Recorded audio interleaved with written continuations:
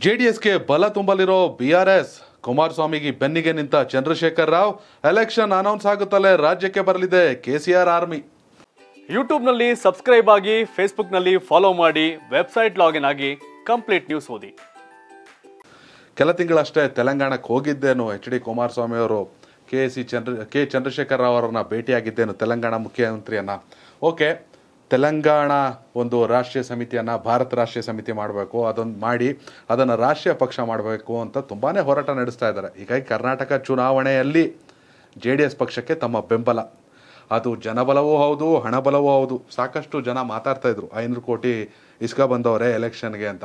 But ಈಗ ಅಧಿಕೃತವಾಗಿ ಚಂದ್ರಶೇಖರ್ ರಾವ್ ಹೇಳಿದ್ದಾರೆ. ತೆಲಂಗಾಣದ ಶಾಸಕರು, ಸಂಸದರು ಮತ್ತು ಮುಖಂಡರು ಸೇರಿದಂತೆ ಸ್ವತಃ ಮುಖ್ಯಮಂತ್ರಿಗಳು ಸೇರಿದಂತೆ ಜೆ ಡಿ ಎಸ್ಗೆ ಬೆನ್ನೆಲುಬಾಗಿ ನಿಲ್ತೀವಿ. ಸುಮಾರು ಐವತ್ತು ಜನರ ತಂಡ ಎಲೆಕ್ಷನ್ ಅನೌನ್ಸ್ ಆಗ್ತಿದ್ದಂಗೆ ಕರ್ನಾಟಕಕ್ಕೆ ಬರುತ್ತೆ. ಜೆ ಡಿ ಎಸ್ ಪರ ಪ್ರಚಾರವನ್ನು ಆರಂಭಿಸುತ್ತೆ. ಒಂದು ಕಡೆ ಪಂಚರತ್ನ ಯಾತ್ರೆಯ ಬಲ, ಮತ್ತೊಂದು ಕಡೆ ತೆಲಂಗಾಣ ರಾಷ್ಟ್ರೀಯ ಸಮಿತಿ. ಎಷ್ಟರ ತೆಲಂಗಾಣ ರಾಷ್ಟ್ರ ಸಮಿತಿ. ಎಸ್ ಎಷ್ಟರ ಅದೀಗ ಭಾರತ ರಾಷ್ಟ್ರ ಸಮಿತಿ ಆಗಿದೆ. ಹೌದು. ರಾಷ್ಟ್ರೀಯ ಪಕ್ಷ ಆಗ್ಬಿಡಲ್ಲ. ಅವ್ರ ಭಾರತ ರಾಷ್ಟ್ರ ಸಮಿತಿ ಅಂತ ತಕ್ಷಣ ರಾಷ್ಟ್ರೀಯ ಪಕ್ಷ ಮಾಡಬೇಕು ಅಂತ ಹೋರಾಡ್ತಾರೆ. ಮಾಡಬೇಕು ಅಂದ್ರೆ ಅದೇನೂ ಆಗಲ್ಲ. ಒಂದಿಷ್ಟು ರಾಜ್ಯಗಳಲ್ಲಿ ಇಷ್ಟು ಪರ್ಸೆಂಟ್ ಓಟ್ ತಗೊಂಡ್ರೆ ಅಂತಿದೆ. ಈಗ ಆಮ್ ಆದ್ಮಿ ಪಕ್ಷ ರಾಷ್ಟ್ರೀಯ ಪಕ್ಷವಾಗಿದೆ ಹೌದು. ಆದ್ರೆ ಬಿ ಆರ್ ಎಸ್ ಭಾರತ ರಾಷ್ಟ್ರ ಸಮಿತಿ ರಾಷ್ಟ್ರೀಯ ಪಕ್ಷ ಸದ್ಯಕ್ಕಿಲ್ಲ ಅದು ಆಗೋದೂ ಇಲ್ಲ ಈಗ ಹೋಗ್ಬಿಟ್ಟು ನಮ್ಮ ಕರ್ನಾಟಕದಲ್ಲಿ ಅವ್ರ ಹೆಸರು ಕ್ಯಾಂಡಿಡೇಟ್ ಹಾಕಕ್ಕಾಗತ್ತಾ? ಬಿ ಆರ್ ಎಸ್ ಅಲ್ಲಿ? ಆಗಲ್ಲ. ಹಾಕೋರು ಜನ ಓಟ್ ಹಾಕ್ತಾರ? ಆಗಲ್ಲ ಇವೆಲ್ಲ ನಡೀತವೆ. ಸೊ ಅದಾಗಲ್ಲ. ಈಗ ಕರ್ನಾಟಕದಲ್ಲಿ ಈಗ ಮೈತ್ರಿ ಆಗಿದೆ ಹೌದು. ಜೆ ಡಿ ಎಸ್ಗೆ ಸಪೋರ್ಟ್ ಮಾಡ್ತೀವಿ ಅಂತ ಹೇಳಿದ್ದಾರೆ. ಆ ಬಿ ಆರ್ ಎಸ್ ಪಾರ್ಟಿ ಘೋಷಣೆ ಸಂದರ್ಭದಲ್ಲಿ ಕುಮಾರಸ್ವಾಮಿ ಫ್ಲೈಟ್ ಅಲ್ಲಿ ಒಂದು ಇಪ್ಪತ್ತ್ ಮೂವತ್ತು ಜನ J D S M L ಎಗಳನ್ನ ಕರ್ಕೊಂಡು ಹೋಗಿ ಕಾರ್ಯಕ್ರಮ ಮುಗಿಸ್ಕೊಂಡು ಬಂದಿದ್ದಾರೆ. ಹೌದು. ಹೌದು. ಜೆ ಡಿ ಎಸ್ಗೆ ಇದು ಲಾಭ. ಇದು ಹೊತ್ತಿನವರೆಗೂ ಜೆ ಡಿ ಎಸ್ ಅವರೇ ಹೆಂಗೋ ಬಿಜೆಪಿ ಜೊತೆ ಬರ್ತೀವಿ ಕಾಂಗ್ರೆಸ್ ಜೊತೆ ಬರ್ತೀವಿ ಅಂತ ಮೊದಲೇ ಎಲೆಕ್ಷನ್ ಬಿಫೋರ್ ಒಂದು ಸ್ವಲ್ಪ ಅಡ್ಜಸ್ಟ್ಮೆಂಟ್ ಮಾಡ್ಕೊಂಡು ಯಾಕೆ ತಗೊಂಡೆ ಅಂದ್ರೆ ನಾನು ನಿಮ್ನ ಕೇಳಬೇಕಿತ್ತು. ಸರಿ ಅವ್ರು ಬಂದಿದ ತಕ್ಷಣ ನಮ್ಗೆ ಹೆಂಗ್ ಲಾಭ? ಅಂದ್ರೆ I mean J D S ಹೆಂಗ್ ಲಾಭ? ಇಲ್ಲ ಓಕೆ ನಿಮ್ಗೇನೆ ಜೆ ಡಿ ಎಸ್ ಅಲ್ಲ ಅಲ್ಲ ಅಲ್ಲ. ಅದಕ್ಕೆ ನಾನು ಮತ್ತೆ ಮತ್ತೆ ಹೇಳಿದೆ ಜೆ ಡಿ ಎಸ್ ಹೆಂಗ್ ಲಾಭ? ಲಾಭ ಅಂತ ಎಸ್ ಓಕೆ ಇದುವರೆಗೆ ಏನು ಮಾಡಿದ್ರು ಜೆ ಡಿ ಎಸ್ ಅವರು ಕಾಂಗ್ರೆಸ್ ಜೊತೆನೋ ಬಿಜೆಪಿ ಜೊತೆನೋ ಕೇಳ್ಕೊಂಡು ಒಂದು ಸ್ವಲ್ಪ ಫಿನಾನ್ಸ್ ಗಿನಾನ್ಸ್ ಸಜೆಸ್ಟ್ ಮಾಡ್ಕೊಂಡು ಚುನಾವಣೆ ಮಾಡ್ತಿದ್ರು. ಎಸ್ ನೆಕ್ಸ್ಟ್ ಗೆದ್ದ ಮೇಲೆ ಅತಂತ್ರ ನಿಮ್ಮ ಜೊತೆ ಬರ್ತೀವಿ ಅಂತ ಅಡ್ಜಸ್ಟ್ಮೆಂಟ್ ಮಾಡ್ತಿದ್ರು. ಓಕೆ ಓಪನ್ ಸೀಕ್ರೆಟ್ ಕಳೆದ ಬಾರಿ ಚುನಾವಣೆಯಲ್ಲಿ ಬಿಜೆಪಿ ಜೊತೆ ಚುನಾವಣೆ ಅತಂತ್ರ ಆದ್ರೆ ಬರ್ತೀವಿ ಅಂತೇಳಿ ದುಡ್ಡು ಇಸ್ಕೊಂಡಿದ್ರು ಅಂತ ಒಂದು ಆರೋಪವನ್ನ ಬಿಜೆಪಿ ಅವ್ರು ಮಾಡ್ತಾರೆ ಒಳ್ಳೊಳಗೆ ಹಿಂಗೆ. ಈ ಸರಿ ಇವರಿಬ್ರು ಸವಾಸ ಬೇಡ ಅಂತ ಅಂದ್ಬಿಟ್ಟು ಅವರು ಅಷ್ಟೇ. ಯಾಕೆ ಅವ್ರು ಇವ್ರು ಬೇಕು ಅಂತಂದ್ರೆ ನಮ್ದಾದ ಆರು ತಿಂಗಳಿಗೆ ಅವ್ರ ಚುನಾವಣೆ ಐತೆ.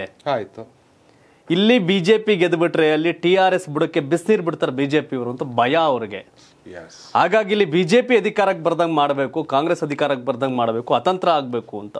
ಅವ್ರಿಗೇನು ಕುಮಾರಸ್ವಾಮಿ ಮೇಲೆ ಹೆವಿ ಕಾನ್ಫಿಡೆನ್ಸ್ ಕುಮಾರಸ್ವಾಮಿಯ ಬಲ ನಮ್ಮ ಹಣಬಲ ಸೇರಿದ್ರೆ ಸರ್ಕಾರ ಮಾಡ್ಬೋದು ಜೆ ಡಿ ಎಸ್ ಅಂತ ಅವ್ರು ಬರ್ತಾವ್ರು ಇಲ್ಲಿಗೆ. ಬರ್ತಾವ್ರು ಅವ್ರ ಇಲ್ಲಿಗೆ ಹಣವನ್ನು ಕೊಡ್ತಾರೆ. ಅವ್ರು ಚಂದ್ರಶೇಖರ್ ರಾವೇ ಬಂದ್ಬಿಟ್ಟು ಇಲ್ಲಿ ಯಲಂಕದಲ್ಲಿ ಯಲಹಂಕದಲ್ಲಿ ಕೆಲವೊಂದು ಯಾವುದೋ ಒಂದು ಕ್ಷೇತ್ರದಲ್ಲಿ ಬಂದು ಪ್ರಚಾರ ಮಾಡ್ಬಿಟ್ರು ಓಟ್ ಏನ್ ಬಿದ್ಬಿಡಲ್ಲ. ಎಸ್ ಅದೇ ಕೇಳಿದ್ದು.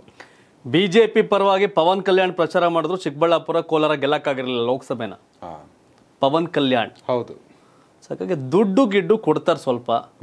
ಹಣಕಾಸಿನ ಅನುಕೂಲ ಅನುಕೂಲ ತಾನೆ. ಹೌದು. ಒಂದ್ ಕಡೆ ಹಣಕಾಸಿನ ಅನುಕೂಲ ಇನ್ನೊಂದ್ ಕಡೆ ಮೇಘಾಲಯದಲ್ಲಿ ಸಿಕ್ಕಂತ ಒಂದು ಕೋಟಿ ಕರ್ನಾಟಕದಲ್ಲಿ ಕೂಡ ಒಂದೇ ಕೋಟಿ ವ್ಯಾಲ್ಯೂ ಹೌದು. ಅದು ಮೇಘಾಲಯ ಸರ್ಕಾರದವ್ರು ಕೊಟ್ಟರೋ ಯಾರು ಕೊಟ್ಟರೋ ಮಣ್ಣು ಮಸಿ. ಹಾಗಾಗಿ ಅದು ಇವ್ರಿಗೆ ಲಾಭ ಇದೆ. ನೀವು ಹೇಳಲ್ಲ ಏನೋ ಐನೂರು ಕೋಟಿ ಕೊಡ್ತಾ ಅವ್ರಂತೆ. ಅಂತೆ. ಐನೂರು ಐವತ್ತು ಕೊಟ್ಟರು ಲಾಭನೇ ತಾನೆ? ಹೌದು. ಒಂದು ಐದೈದು ಕೋಟಿ ಹತ್ತು ಕ್ಷೇತ್ರಕ್ಕೆ ಹಂಚ್ಬೋದಾ? ಹಣ ಹಂಚೋದ್ರ ಬಗ್ಗೆ ಸಪೋರ್ಟ್ ಮಾಡ್ತಿದ್ದೀರಾ ಶಿವು? ನೀವು ದ್ರೋಹಿ. ಕೆಲವರ ಕಾಮೆಂಟ್ ಆಗ್ತಾರೆ ಕೆಳಗಡೆ. ಹೌದು. ಹಾ ಯಾರ ಕಾಯಪಯ ಅಂತ ಅನ್ಬೋದು ನಾವು ಕೆಲ ತಲೆ ಕೆಡ್ಸ್ಕೊಳ್ಳೋ ಅವಶ್ಯಕತೆ ಇಲ್ಲ. ನಾನು ಇಡೋ ರಾಜಕಾರಣ ಹೇಳ್ತಾ ಇದ್ದೀನಿ ನಿಮ್ಗಷ್ಟೇ. ಅವ್ರು ನೀವು ಹೇಳಿದಾಗ ಐನೂರು ಕೋಟಿನೇ ಕೊಟ್ಟರು ಇವ್ರಿಗೆ ಜೆ ಡಿ ಎಸ್ನವ್ರಿಗೆ. ಒಂದೊಂದು ಕ್ಷೇತ್ರಕ್ಕೆ ಹತ್ತತ್ತು ಕೋಟಿ ಅಂತಂದ್ರು ಐವತ್ತು ಕ್ಷೇತ್ರಕ್ಕೆ ಬಲ ಅಲ್ವಾ ಅದು? ಹೌದು. ಇಲ್ಲಿ ಯಾವ್ದು ಲೀಗಲ್ ಏನಲ್ಲ ಯಾರು ಕನ್ಫ್ಯೂಸ್ ಆಗ್ಬೇಡಿ ನೀವು. ಐನೂರು ಕೋಟಿ ಕೊಡ್ತಾವ್ರಂತೆ ಬಿ ಆರ್ ಎಸ್ ಅವರು ಜೆ ಡಿ ಎಸ್ಗೆ ಅನುಕೂಲ ಆಗತ್ತಂತೆ ಅಂತ ಚರ್ಚೆ ಐತಲ್ಲ ಅದ್ರ ಬಗ್ಗೆ ನಾನು ಹೇಳ್ತಾ ಇರೋದು. ನೀವ್ ಹೇಳ್ದಂಗೆ ಅವ್ರು ಐನೂರು ಕೋಟಿ ಕೊಟ್ರುವೆ ಲಾಭ ಅಲ್ಲ ಇವ್ರೆ ಹೌದು.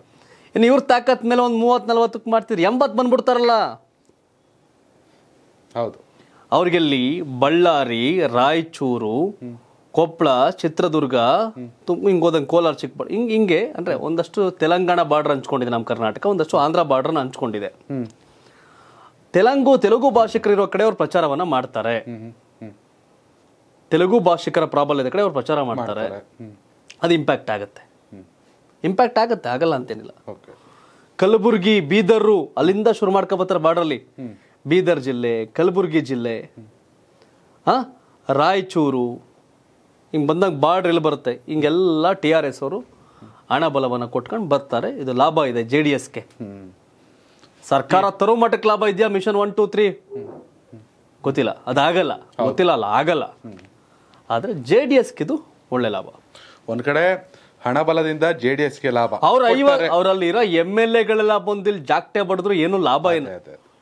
ದುಡ್ಡು ಲಾಭ. ಹೌದು. ಅವ್ರಿಗೇನಂದ್ರೆ ಒಂದ್ ಕಡೆ ನಿಮ್ಮನ್ನ ಹೆಚ್ಚಾಗಿ ಗೆಲ್ಲಿಸ್ತೀವಿ ಹಣಬಲ ನೀಡಿ. ಒಂದ್ ಕಡೆ ಬಿಜೆಪಿ ಗೆಲುವಿಗೆ ತಡೆ ಹಾಕಿದ್ರೆ ನಮಗೆ ನೆಕ್ಸ್ಟ್ ಒಳ್ಳೇದಾಗುತ್ತೆ. ಯಾಕಂದ್ರೆ ಇಲ್ಲಿ ಕರ್ನಾಟಕದಲ್ಲಿ ಬಿಜೆಪಿ ಸರ್ಕಾರವೋ ಕಾಂಗ್ರೆಸ್ ಸರ್ಕಾರವೋ ಬಂದ್ರೆ ಈ D K Shivakumar Siddaramaiah next ಟಾಸ್ಕರ ಓಯ್ ರೇವಂತ್ ರೆಡ್ಡಿ ಎಲ್ಲ ಅವ್ರಲ್ಲ ಅಲ್ಲಿ. ಹೌದು. ಚಲೋ ತೆಲಂಗಾಣ ಅಂತ ಹೋಗ್ಬಿಟ್ಟು ಅಲ್ಲಿ ಫಂಡು ಗಿಂಡು ಹಾಕೊಂಡು ಚುನಾವಣೆ ಮಾಡ್ತಾರೆ ವೆಳ್ಳಂಡಿ ವೆಳ್ಳಂಡಿ ಹಿಂಗ್ ಹಿಂಗ ಹಿಂಗ ಆಗ್ಬಿಡ್ತವೆ. ಓಕೆ ಹಿಂಗಾದ ಕಷ್ಟ ಆಗತ್ತೆ ಅಂತ ಭಯ ಬಿದ್ದು ಓಡ್ ಬರ್ತಾವ್ರೆ ಏನ್ ಜೆ ಡಿ ಎಸ್ ಮೇಲೆ ಲವ್ ಅಲ್ಲ. ಹೌದು.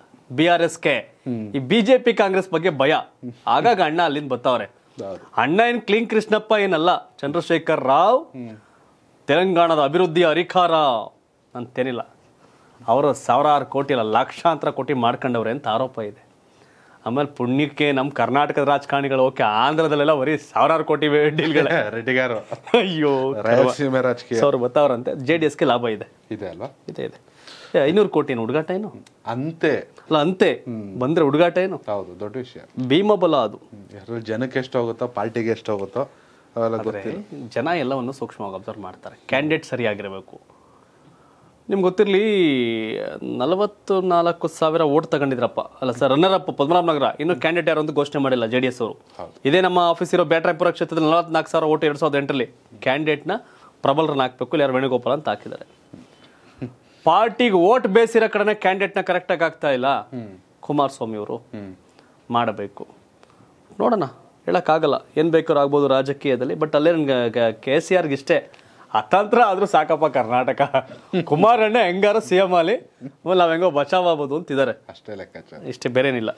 ಎಸ್ ವೀಕ್ಷಕರೇ ಮುಂಬರೋ ವಿಧಾನಸಭಾ ಚುನಾವಣೆಯಲ್ಲಿ ಯಾವ ಪಕ್ಷ ಅಧಿಕಾರಕ್ಕೆ ಬರಬೇಕು ಯಾರು ಸಿ ಎಂ ಆಗಬೇಕು ಅನ್ನೋದನ್ನ ಕಾಮೆಂಟ್ ಮಾಡಿ. ಹಾಗೆ ಈ ವಿಡಿಯೋ ನೋಡ್ತಿರೋರು ನೀವು ಯಾವ ಕ್ಷೇತ್ರದಾದ್ರೂ ಕ್ಷೇತ್ರದವರಾದ್ರೂ ಸರಿ ನಿಮ್ಮ ಕ್ಷೇತ್ರದ ಶಾಸಕರು ಯಾರಾಗಬೇಕು ಅನ್ನೋದನ್ನ ತಿಳಿಸಿ ಕೊನೆಗೆ ಪ್ರತಿ ವಿಡಿಯೋದಲ್ಲಿ ಒಂದು ಒಂದು ಕಳಕಳಿ ಇದು.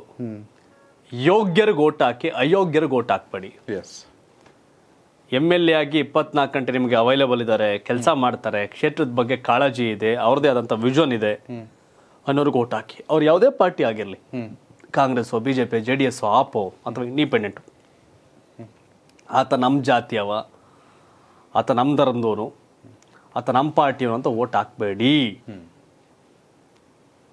ಒಳ್ಳೆ ವ್ಯಕ್ತಿನ ಯೋಗ್ಯ ವ್ಯಕ್ತಿನ ವಿಧಾನಸೌಧಕ್ಕೆ ಕಳಿಸಿ. ಅಯೋಗ್ಯರನ್ನ ವಿಧಾನಸೌಧಕ್ಕೆ ಆಯ್ಕೆ ಮಾಡಬೇಡಿ. ಯೋಗ್ಯರನ್ನ ಆಯ್ಕೆ ಮಾಡಿ. ಯಾಕಂದ್ರೆ ನಾಳೆ ಸಫರ್ ಪಡ್ಬೇಕಾಗಿರೋದು ನಾವೇ ಅಲ್ಲ.